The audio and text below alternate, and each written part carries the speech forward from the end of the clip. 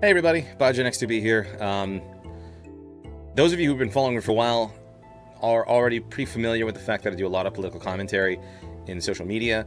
Um, I don't really do a lot of video content on it, so I'm going to try to change that a little bit. Uh, I know there are a lot of people out there who genuinely like what I have to say about things and try to engage me on that and, and see, throw, bounce ideas around and stuff. So um, I'm going to try to make that a little bit more frequent and just share some of the cool things that I find on the internet.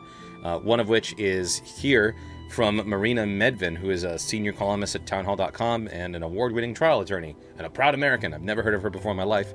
I just threw her a follow. I would recommend throwing her a follow as well. She was retweeted by Cassandra Fairbanks, another account that I would highly recommend you go say what's up to her. Um, she's phenomenal. Uh, along with another number of other people. If you check my retweets, you'll see a lot of uh, people that I clearly either endorse their message or them as uh, personalities. Anyway, uh, anyway, let's get to the meat and bones of what we're talking about here. This is a really cool find today. Um, Marina tweets. Trump's administration cracks down on racist teachings in various executive branch agencies. And she quotes a document below. So we're going to get into it, um, read the document, see what's going on with that, and uh, it's pretty exciting. I read it already. It's it's pretty neat. Check it out. Office Executive Office of the President, Office of Management and Budget. This comes from the director, Russell Vought. Memorandum for the heads of executive departments and agencies. It was written today, the 4th of September, when this was recorded. Subject Training in the Federal Government. And we'll just get into it now. It has come to the President's attention that executive branch agencies have spent millions of taxpayer dollars to date training government workers to believe divisive, anti American propaganda. For example, according to press reports, employees across the executive branch have been required to attend trainings where they are told that, quote, virtually all white people contribute to racism, or where they are required to say that, quote, they benefit from racism. According to press reports, in some cases, these trainings have further claimed that there is racism embedded in the belief that America is a land of opportunity, or the belief that the most qualified person should receive a job. These types of trainings not only run counter to the fundamental beliefs for which our nation has stood since its inception, but they also engender division and resentment within the federal workforce. We can be proud that as an employer, the federal government has employees of all races, ethnicities, and religions. We can be proud that Americans from all over the country seek to join our workforce and dedicate themselves to public service. We can be proud of our continued efforts to welcome all individuals who seek to serve their fellow Americans as federal employees. However, we cannot accept our employees receiving training that seeks to undercut our core values as Americans and drive division within our workforce. The President has directed me to ensure that federal agencies cease and desist from using taxpayer dollars to fund these divisive, un American propaganda training sessions. Accordingly, to that end, the Office of Management and Budget will shortly issue more detailed guidance on implementing the President's directive.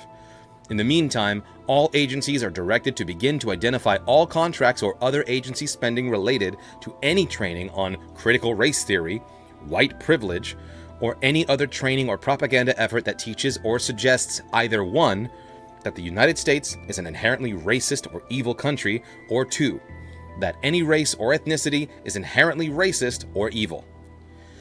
In addition, all agencies should begin to identify all available avenues within the law to cancel any such contracts and or to divert federal dollars away from these un-American propaganda training sessions.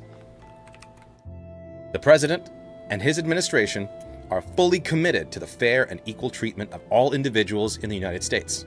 The president has a proven track record of standing for those whose voice has long been ignored and who have failed to benefit from all our country has to offer, and he intends to continue to support all Americans, regardless of race, religion, or creed. The divisive, false, and demeaning propaganda of the critical race theory movement is contrary to all we stand for as Americans and should have no place in the federal government. Now that's pretty cool. I'm not gonna lie. I'm actually really excited for that. Um, this document here, if it's to be believed, if it's authentic, which uh, comes from a news source, I'll try to verify it later. But so far, uh, based on everything that we know about Donald Trump, it seems legit because this this is definitely the sort of thing that he would push against, and I heard about it about a month ago, I think, uh, that the government was starting to do training sessions for uh, sensitivity training, uh, uh, teaching critical race theory, and and all these other things that that quite honestly, I've been seeing them pop up since at least like 2010, 2011. Um, people trying to push soft Marxism into academia, which they succeeded. Right? It's taught everywhere now, which is really frustrating. Uh, and then trying to use that push to go into the government. Now, if you uh, look up Yuri Bezmenov, I think is his name, he was a defector of the KGB back in in the Cold War. And he actually laid out the entire strategy that the Soviets were trying to use to overtake America. And don't forget, Soviets weren't the only communists, so is China. And the tactics have worked to infiltrate the United States, um, as far as I can tell. Because communism isn't as much of a dirty word as Nazism, despite the extremely high body count uh, we, we, and Nazism is terrible. Don't get me wrong, right? And it's it's racist and divisive and evil. Uh, but communism seeks to do largely the same thing, uh, but for our benefit, right? That's the way I see it.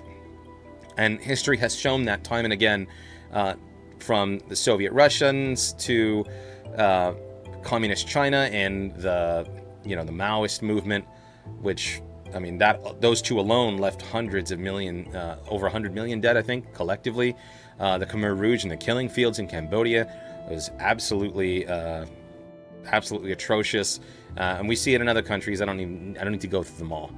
Uh, but uh, the more that you look at communism as it's risen as a as a state entity in places where it wasn't already there, you start to see the same kinds of patterns. So to see finally some pushback from this administration regarding the encroaching ideology of Marxism, which ultimately leads to communism intentionally, deliberately, is very um, it's very promising and it gives me a lot of hope for America going forward because we're really close, we're, as far as I believe, teetering on the edge of losing the freedoms that we have as Americans that make this country what it is, right? They won't make America great. I believe that we live in the greatest country of the world because we live in the one country that has the most amount of freedom and it's not perfect. And uh, if you look at my tweets, you'll see there are a lot of things that we that we still need to fix, a lot of things that we do wrong. Um, but there's nowhere else in the world that can do it, uh, that can fix them like we can, and nowhere else in the world that I would rather be. Uh, no other state I'd rather be than in Florida right now, I'll be honest, too. That's another discussion for another time. But uh, thanks, you guys, for watching. And um, I don't have an end bump, so I'm just to hit stop recording. But I appreciate uh, if you if you like the content, right? I appreciate everybody who's made it to the end. If you like the content, feel free to follow me on Twitter. I'm going to post this on YouTube as well. I'd have to clip a part of it for Twitter, probably. But uh, pretty cool stuff. So I'm going to try to make more of these at least once a week. And uh, catch you guys next time.